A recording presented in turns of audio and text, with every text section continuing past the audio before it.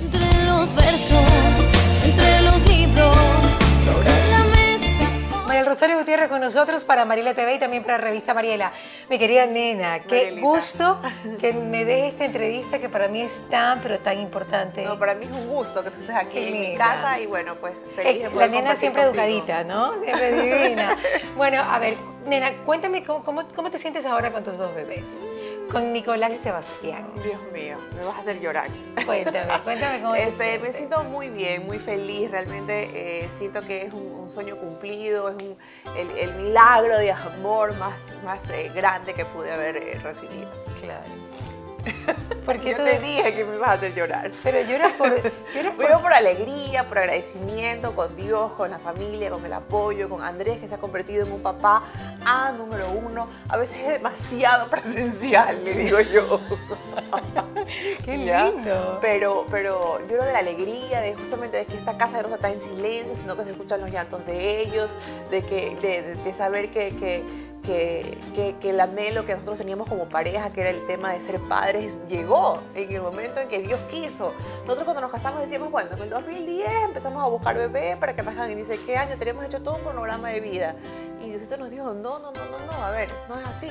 También yo quería que nazcan en tal fecha, a partir de tal mes, para que ni sé qué, como sabía que eran mellizos, sabía que no llegaba a tal fecha. Y Diosito me dijo, no, no, no, no, a ver, te equivocas, nacieron y nacieron en una fecha en que yo nunca me hubiera imaginado que iban a nacer. ¿Sí me explico? Claro. Entonces- pero, pero esto ha sido una travesía para ti. O sea, ha sido una travesía y no ha sido travesía. ¿Por ha qué? sido, la espera ha sido, eh, eh, nos hizo a veces demasiado eternas. Porque el que espera desespera. Porque el que espera desespera. Y aparte de todo eso, que este, muchas veces me decían, no, usted que eso está muy bien, es cuestión de que usted espere. ¿Ya? Entonces, y esa, esa espera de que estoy bien, pero no salgo, ¿sí me explico? Claro. Estoy bien, pero no salgo, estoy bien, pero no salgo. Y, ya, y entonces- te ponías en y- todas las posiciones. ¿verdad? entonces, Así se sale, así no salgo. Claro, entonces, era Y una- claro, dice la Sí, otra. Que es una cosa y todo, y todo el mundo viene y te da consejos y te Claro. dice, haz esto, hazlo de acá, ponte Ay, lo de ¿qué te aquí". decían, por favor? Entonces, la, la típica, o sea, por ejemplo... Este, Pero tú a la brujería no llegaste. no, no, Ah, jamás, ya, gracias. nunca. Ok, ¿sabes? no, no, no, para no, tú nada. no eres nada de Pero la eso, gente no. que te decía, no, espera, que ni sé qué, o anda el psicólogo, no, espérate, relájate, viaja, no, espérate, ni sé qué. Entonces, en esa espera, digamos, de lo que, que se chocó con lo que yo supuestamente había tenido organizado, porque sí trato como que de ser muy... eh, Organizada en tu vida. Sí, y ya me he dado cuenta que no debo Es que tú eres controladora, nena. Sí, puede ser. Claro, claro. ¿Y cuánto Sí. tiempo esperaste? Bueno, llegaron después de siete años de casados. De siete años de Sí. casados. Y Y siete que al principio no queríamos, pues como no queríamos Claro. disfrutar de nosotros, en la vida en pareja, este, viajar, este, conocernos un poquito más, esperar a que nos entreguen este departamento que lo hemos ido comprando poco a poco, pagando, mejor dicho, poco a poco. Y entonces como que todo iba perfecto, porque nosotros al principio no buscábamos. Y luego cuando seguimos buscar, las cosas no fueron tan rápidas como esperábamos. Claro, es cierto. Bueno, pero es- esa es la vida, ¿no? Claro. Porque, porque tú, tú tienes un, un matrimonio muy bonito, nena. Gracias a Dios. Gracias Sí. a Dios. ¿Y a ti? O sea, sí, sí me explico Sí, lo que claro, te quiero decir. O sea. Dios es el hacedor de todo Sí. y tenemos su bendición. Pero, Pero- ¿cuánto contribuyes tú? Por supuesto, uno pone Porque su nuestras parte decisiones totalmente. son básicas para que Dios Claro. pueda actuar, ¿no? Exactamente, y muchas veces también me, me toca así como que usar, tú sabes, así la artimaña de la mujer para poder convencerlo al otro, Claro, ¿no? claro. O para que se den las cosas. Este, y sí, yo creo que sí, inclusive ahora que, que ya soy mamá, también me da pena porque después de tanto tiempo juntos, solo los dos, entonces sí me gusta como de consentirlo. O sea, hay un partido fútbol, elim- clasificatoria o eliminatoria al mundial, entonces, ¿qué pasó? Le hice su piqueíto porque eso siempre yo le hacía. Yo sabía que había partido de fútbol, eliminatoria, entonces yo tenía su piqueo y todo porque ese día era día de, de- de júbilo Claro. para él, ¿sí me explico? Partido tras partido, entonces Claro. no perder esas cositas que si bien lo hacía cuando estaba sin los bebés y que ahora no me diga o se sienta relegado por el tema de los bebés. Muchas veces me ha tocado dejarlo relegado, decirle, "Ve, ya está la comida, ven a almorzar. No, no, no, le digo, espérate, déjame terminar con los bebés y ahí voy. Ay, Ya. no puede ser. Entonces le digo, no, sí, primero son los bebés y ahí voy. ¿Te parece que primero son los bebés? O sea, ahorita sí, Ya. porque es, es- es- encierra muchas cosas. Primero, la novelería. Uno, es exacto. Después también el tema de que me da mucho miedo, los escucho llorar, llorar, llorar y cómo los puedo ayudar. Ahora que ya tienen dos meses, por ejemplo, en antes que me arreglaban, me decía Ani, oye nena, ¿y qué el escándalo? ¿Y qué le pasará? Le digo, tranquilo, de ley está en el cambiador, le están cambiando de pañal, le están cambiando de ropa, le están sacando la pijama y por eso En llora. dos meses te relajaste. ¿Ya? Entonces, sí, o sea, Oh, no nena, estoy qué re- control. No estoy requete que relajada, pero La ya más o que- menos ah. ya sé por qué el tema del llanto del bebé, porque se Ah, puede ya los dar. conoces Ya, perfectamente. Claro, ya cuando empieza el como tosecita, es Nicolás. Ya, ¿por qué? Porque así empieza a toser, así empieza a llorar. Al principio creía que tenía tos el bebé. Y yo, uy, el bebé tiene tos, no puede ser, auxilio. Si Andrés dice que mi pregunta es, ¿no tendrá fiebre? Esa es mi pregunta clave de los bebés. Bueno, que la fiebre, de todas maneras, tú sabes que, es- digamos que es un signo eh, o un síntoma Claro. que, que detecta que algo pasa mal, pero es como una alerta para las mamás. Exactamente, por supuesto. O sea, como que te avisa. Exacto. Ya, pero lo bonito es que ya fuimos al doctor por los dos meses y dice que gracias a Dios están muy bien, están sanitos. Fuimos justamente este... este Pero son totalmente diferentes, ¿no? Totalmente diferentes. El uno es papá el otro es mamá. Pero es increíble. Increíble. ¿ah? Sí, yo sé que yo, yo los veo y digo, no puedo creer, o sea, encima así, perfectitos. O sea, yo pedía un hijo y Dios me regaló dos. Yo lo pedía sano, los dio bien bonitos. a más de sano, gracias a Dios. Oye, o sea, eh, definitivamente hemos sido Dios- privilegiados. Sí, Uf, Dios- oye, Dios, Dios te da mucho más, no se queda con nada, ¿no? Dios te da el doble Sí. de lo que tú pides cuando lo pides con amor. Sí, sí, sí. Y sabes que eso fue muy bonito, Mariela, porque yo siempre decía, a mí me decían, por ejemplo, ¿a dónde la Virgencita de la Esperanza? Porque es la Virgencita de la Embarazada, para que te funcione. Anda a este ni sé qué, que es el de los imposibles.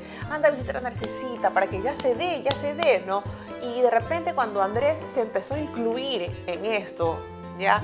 Fue como que fue un giro completamente. ¿Por qué? Porque- Increíble. Eso que porque- tú cuentes es es Porque rápidamente cuando, porque yo le decía a Andrés, ayúdame, ayúdame, ¿sí me explico? Porque yo era la que hacía todo, yo era la que rezaba, yo era la que hacía, haz una mamá, hacía mandas, hacía así. Ahorita me decía, mijita, así no son las mandas, yo la manda era interminable ya. Me decía, no es así, el sacrificio y la manda. Me dice, se hace con un tiempo prudencial, hasta tal cosa. Le digo, por eso pues le digo, hasta que salga en cinta.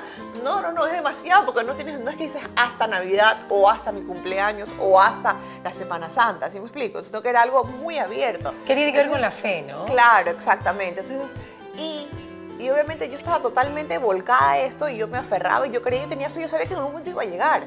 Pero yo le decía a Andrés, vamos, ayúdame, vente, únete a mí.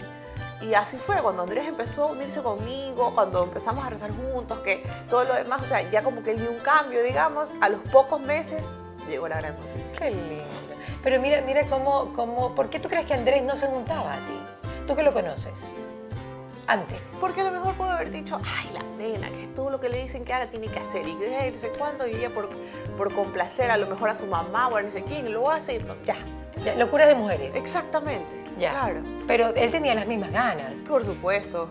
Pero nunca me lo decía. No, para no, No. no, hacerte sufrir. Claro, sí, tal vez nunca, no, nunca. Ya, bueno, igual estamos los dos juntos y hemos pasado muy bien y nos queremos mucho y todo. Y si vienen bien, y, eh, o sea, vienen increíbles, que venían a completar nuestra felicidad, pero nunca, nunca me ejerció presión, nunca fue, eh, nunca señaló, nunca, nunca se, se puso bravo, nunca, o sea, en, en absoluto, no. Qué lindo. Pero bueno, Sí. no tenía por qué. No, no tenía por qué, claro, Claro. pero como yo estoy, podría decirme, oye, mis amigos tienen y también quiero. Ah, ¿Sí me pero no lo explico? ¿No? No, para nada. De ninguna Increíble, o sea, y yo siempre digo que él es mi cable a tierra. Claro. Como él es un poco más serio, es un poco más, eh, eh, no es tan así como espontáneo, como yo. Entonces él, yo me enseguida me entusiasmo, me novelereo, ya, ya, sí, sí, sí, sí, yo creo que ya las cosas se van a dar y todo. Entonces él, él es el que me, me lleva a tierra, digamos. Claro. Oye, ¿me pensaron alguna vez en adoptar? No, nunca, Nunca. no, nunca. Ya. Nunca lo tomamos como, como, Como- opción. ¿Por qué? Porque tú tenías fe de que tú ibas a ser. Claro, por supuesto. Yo ¿Y sabía qué, que el momento y qué pasaba cuando veías a otra chica embarazada? en Me encantaba, me encantaba. Nunca sufrí esa depresión, nunca para nada. Ya, me encantaba porque era como, como decir, lo lograba, ¿sí me explico? O sea, Claro. lo que a lo mejor yo tanto anhelo, ella sí lo pudo lograr y me encanta. Claro. Y ahora sí mismo tengo muchas mujeres que, o amigas que están por querer salir embarazadas y también rezo mucho por ellas. Claro. Ya, porque a lo mejor puede ser que cada uno, claro, todo depende del carácter de, de la persona, de cómo lo puede, cómo puede esperar. Y eso es una cosa, yo con esto aprendí a esperar. Qué linda. ¿Ya? Y que no es fácil. No, no porque no sabes hasta cuándo esperas. Exacto. ¿ya? Pero yo aprendí a esperar. Y justamente, y eso es lo que yo, yo rezo por mis amigas. Y yo digo, que, que, Señor, ayúdalo a- a- en, en esta espera que puede ser muy muchas veces interminable y que si a lo mejor no tienen su compañero que la va a apoyar o la va a ayudar, puede ser el Horrible, caos. claro, exacto, el caos. No te lo tomes a mal, pero quiero saber cómo es la vida sexual de una persona. Escúchame. Oye, Eso no me gusta que me preguntes. Nunca le gustó. Ni que, ni Nunca, si era jamás. virgen. Tú ni sabes. Mariela, que cuando yo recién entré a la televisión, mi papi no me jura tu programa. Ah, fue tu papá. Sí, fue mi papi. Me dijo Ay, que ¿fue tu papá? Sí, me dijo que no tenía permiso. ¡Permiso! Ojo, ya tenía 18 años. O sea, ibas a la discoteca. Claro, tenía 18 años. Mi no programa tenía la discoteca, permiso eh. para ir a tu programa porque tú ibas a hacer esas preguntas capciosas No, pero a la bebé. esto no es capciosa. No, a la bebé. Pero esto no es capciosa, porque ¿sabes qué- con qué tiene que ver? Con el tema de, de que yo he visto y he escuchado que las mujeres se ponen tan intensas y comienzan, hay que en este momento tener relaciones sexuales porque estoy ovulando. Entonces hacen de esto un estrés en vez de un disfrute. Claro. Bueno, depende. Depende si tú estás con esa insistencia, o si tu doctor te lo ha dicho, o si, si me explico, intente a, eh, tal día, tal hora, si me explico, puede ser. ¿Tú eres así? Pero si no, en un momento sí. Pero después llegó un momento en que yo dije, me voy a olvidar de esto. Y voy a hacer mi vida normal y no hay ningún problema y no voy a presionar a nadie y esto yo no voy a seguir hablando de este tema, sino que se acabó. Te lo entregué a Dios, como dices, tú ocúpate. Qué maravilla. Y qué me empecé a relajar y yo creo que esa fue un poco la clave. ¿Y solo saliste embarazada esta vez o habías tenido Sí, algún ya había tenido, en el 2013 tuve un embarazo ectópico. Ay, o sea, Sí. fuera del útero. Exactamente, estaba en la trompa derecha. Pero gracias a Dios, volvemos al punto, no perdí ningún órgano. Mi Qué doctor bien. se dio cuenta tan rápido que me salvó ¿Quién es mis tu doctor? órganos. El doctor Bernardo Blum. Ah, Beni. Beni. Ah, divino. Oye, mira, se dio cuenta y pudieron... ¿Y cómo fue el día que te enteraste que estabas embarazada? Mira, fue simpaticísimo. Ver, me acuerdo clarito la fecha. Fue martes 17 de febrero, era carnaval. ya. Carnavaleros los niños. Ajá, eran carnavaleros. Entonces, me fui, ese día me hice el examen de sangre y cuando vi online que esto era positivo fue lo máximo. Entonces, estábamos en la casa de mi suegra en sí. Yo ya me olvidé, son dos líneas, ¿no? Claro. ¿Cuántas sí. líneas son? No, pero esto era examen de sangre. Pero son Ah, dos ya, líneas ya, positivo ya. igual. Ah, sí. en orina es dos líneas. Ya, ya. Sí. Me olvidé, pues, ¿no? Bueno, entonces. Ella tiene 14. Me fui. do- donde- ah, entonces Andrés, para variar, estaba viendo un partido de fútbol en el cuarto de mi suegra. Entonces me levanté. me levanté Aquí hay un conflicto con el fútbol. ¿la? con cualquier deporte. Me levanté la, la camiseta y le dije, hola, papá. Y el man, "Ah, ¿qué? ¿Cómo? No puede ser. Y yo, sí, pero yo cállate, no digas nada. Ahora estábamos en silencio, gritábamos en silencio. Ya, sí, no sabes, increíble, ¿ya? Y este... Dime que dejó de ver el fútbol. Sí, claro, por supuesto. Y, y era una ansiedad, una de esas, porque también como que suave, o sea, tranquilo, no vamos a gritarlo a los cuatro vientos todavía. Claro, hay que esperar tres meses. Hay que esperar un poquito, A ver claro, cómo a ver cómo vamos con el desarrollo, porque en el, en el 2013 sí lo anunciamos a voz en cuello y de repente, chácate viendo lo del ectópico. Entonces, fue muy doloroso realmente. Claro. Ya, muy doloroso. Entonces, ya nos estamos calladitos todos. Cuando ya nos toca ir al doctor, vamos al doctor y siempre fue, acuérdate que mi mami es gemela. Ajá. ¿ya?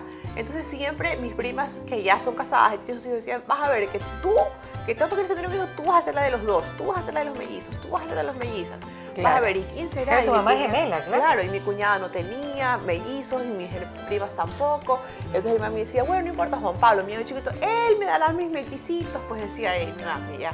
Cuando de repente vamos al doctor y el doctor, "Mm, bueno, aquí está uno, que no sé qué, y de repente, ay, aquí hay otro, y yo, ¿qué? No puedo creer, tanto que Andrés me tomó una foto diciendo dos. Twice. Calcula, Doble. imagínate.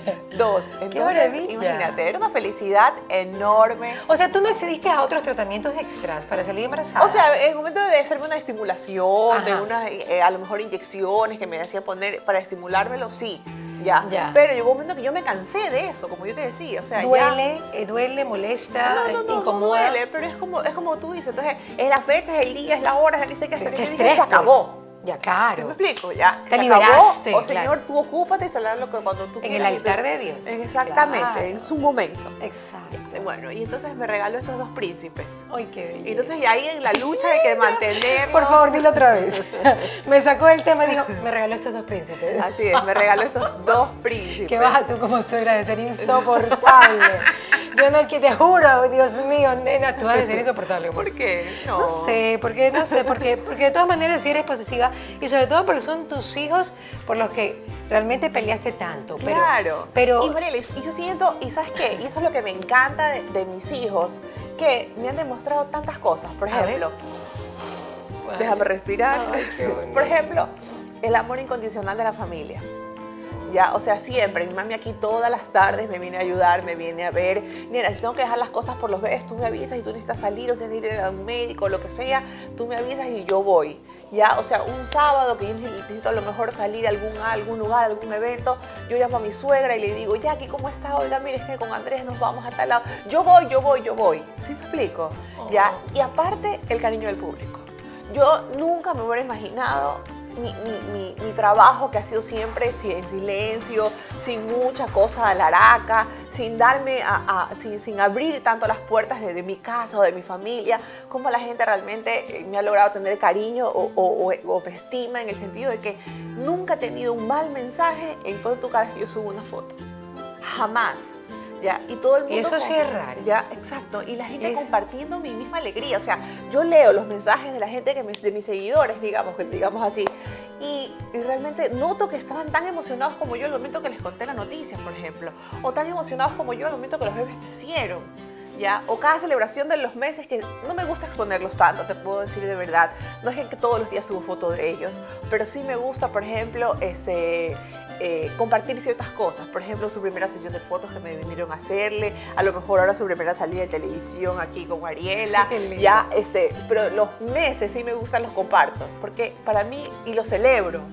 Invito a mi mami, a mi suegra, a mi hermano con sus hijas, ¿ya? Porque no es que es el mega santo, no, no, no. Pero vamos a celebrar los dos meses de vida de mis hijos. ¿sí Qué bonito. ¿Ya? O sea, para mí sí es importante. Y ver, y la gente, qué lindo, nena, ya tienen un mes o ya tienen dos meses, qué hermoso. O por ejemplo, ese día que te digo que llamé a mi suegra para que se quede aquí, nos fuimos con Andrés, subí una foto de los dos y puse escapaditos. Y los mellis, ¿con quién están los mellis? O sea, súper preocupados por mis hijos. ¿Sí me. Entonces, yo eh, eso he descubierto, o sea, el, el cariño, el anhelo, como si han sido los más rezados, los más pedidos, los más esperados, te lo juro, los más esperados, pero por todos, por el que te conoce como el que no te conoce. Entonces, yo siento que, que- que mis hijos son muy especiales. Qué bonito. No solamente para mí, sino para la Para gente que realmente gente. ha estado rodeándome y, que, Pero- lo- y que compartió mi felicidad y la sigue compartiendo. ¿Y qué le, qué le ha dado la nena al público que la quieren tanto? O sea, ¿qué le, qué le has dado, nena, que te quieren tanto? esta, yo. Nada más, siendo yo, porque no, tú sabes que nunca he tenido el cuerpo perfecto, nunca es que he abierto tanto las puertas de mi casa, no me he regalado porque sí, nunca he estado en escándalos metidas, pero yo he sido yo siempre. Ujú. Y te satisface eso. Sí, Te sientes tranquila con sí, eso. la verdad que sí. Creo que puedo decir que en estos 10, casi 19 años trabajando en, en- en- televisión, puedo decir que casi, puedo, no quiero decir misión cumplida, porque sé que falta mucho y no quiero como que cerrar ese capítulo, Claro. pero sí creo que, que- que voy haciendo camino al andar, como dicen. Claro, Y quieres seguir en televisión. Sí, o sea, no es que ay, quiero salir en televisión, pero, pero me encanta lo que hago, lo disfruto mucho. Y si Te aparte. maquillan, estás linda todos los días. Gracias. claro, o sea. Y si aparte me pagan. Claro, imagínate, Mejor, claro. ¿ya? Exacto. Entonces- a ver, uy, uy, uy, qué cosa más rica. Hermoso, ¿sí o no? Qué cosa más hermosa. Sí. Tú tienes a Sebastián y yo tengo a Nicolás. Sí. Los dos ¿Cuál- son Andrés por segundo nombre. Ajá. Porque el papá dijo Porque Andrés es como el arroz, va con todo. Ah, sí. O sea, Juan Andrés, Jaime Andrés, José Claro, Andrés, así Sebastián es. Andrés, eso es como María, ¿no? Sí, es verdad. Leopoldo Andrés, Carla Andrés, o Sí, sea, qué verdad. manera, el Andrés es como el arroz. Pero aparte que él, se- él decía que no era justo ponerle a uno a Andrés y no al otro. Oh. Que cuando eran grandes. Y le digo, si el primero nace como hermano mayor. Es que él, él conoce el fair play del fútbol, de la vida. Exactamente. Y eso es Sí, increíble. entonces. Tú ya, sabes, pues. con un niño en brazos no puedo ni hacer maldades, nada. Uy, se, qué me quita, se me quita toda la parte, ah, la parte así como picarona. Mira cómo chelumió, mi bebé está pinchando. ¿Con. ¿Con quién es que está mi mami? ¿Ah? No, pero mira, pero se durmió más conmigo que contigo. Tú sabes, oye, lo que pasa es que la ¿Quién? señora- Ah, Sebastián. Sebastián, pues. ¿Qué? ¿Qué me estás diciendo? Yo estoy hablando de Nicolás, Yo míralo estoy cómo- hablando de Sebastián. Del tuyo y el mío, Del así. tuyo y el del otro, mío. como Ah, dice. Y me Andrés tocó el colorado, me gustan los colorados, siempre me han gustado. Ve, viste. Mi nena hiciste bella. Ay, qué lindo. Gracias, mi amor, por compartir este momento tan lindo con nosotros. No, gracias a ti. La Me verdad es que me encanta. Siempre has estado en, el, en, las- Sí. en mis grandes Yo ocasiones. soy como. en mis felices y grandes ocasiones. Claro, soy como grandual. Es verdad. Exacto. Sí, porque en la revista pudimos compartir Sí. los momentos del matrimonio, la Es hora loca, el bailoteo, ¿Te la parte de la ceremonia, todo serio. Y ahora eh, la llegada de mis príncipes a mi vida. Sí. Yo les canto, Mariela, aunque todo el mundo dice que cante feo, pero Tú, yo pues, les tú canto. cantas horrible, claro. Sí, Tú eres peor como que yo. Qué maldad. Uy, qué cosa más linda. Aquí me quedo en éxtasis, no hay duda. Qué rico, bebé. Te dormiste ¿No colorado. sientes que tienes a Ricky ahí? ¿Así No. era Ricky Colorado? Ricky era así, Ah. pero era pelón, ¿no? con el papá pues. Ah, claro, como el Nació con toda la mazorca encima, es increíble. Gracias, mi nena bella. No, gracias a ti, de Para verdad. Mariela TV y también, ¿qué me querías decir? Que tengan todos una linda Navidad. Ay, que tú vas a llorar otra Así vez. que la disfruten. Esta es la primera La- Navidad más linda del mundo que voy a tener. Oh. Y las siguientes, Dios mediante, serán más lindas con ellos más grandes. ¿Sabes lo que te deseo? Que tengas realmente una... Hay una cosa que a mí me gusta que me deseen, aunque pa- parezca un poquito feo, ¿no? Una vida fácil. Porque yo creo que a veces hay gente que sufre tanto, nena. Es verdad. Y que, y que yo digo, y alguna vez hablando con una persona, con una líder mía cristiana, me decía, Mariela, muchas veces nosotros mismos nos hacemos la vida difícil, porque hacemos tantas cosas mal que resultan cosas malas en nuestras vidas. Por eso me gusta que tú hayas formado este hogar, que tengas un lindo matrimonio y que tengas estos hijos maravillosos. ¿Sabes qué? Porque te lo mereces. Gracias. Y Uy, porque. Dios tiene la bendición en ti y espero realmente que la sigas teniendo por toda tu vida. Así es, que nos dé salud y fuerza Amén. para seguir en este maravilloso eh, camino de ser Así padres, es. aprendiendo cada día. Gracias, Marelita. A ti, mi amor. No nos vamos a despedir nunca.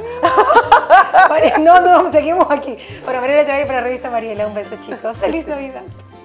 Oh, Qué cosa más. emo- Se quedó dormido conmigo, por favor. Viste, dije ir todos los días a las 3 de la mañana, entonces. En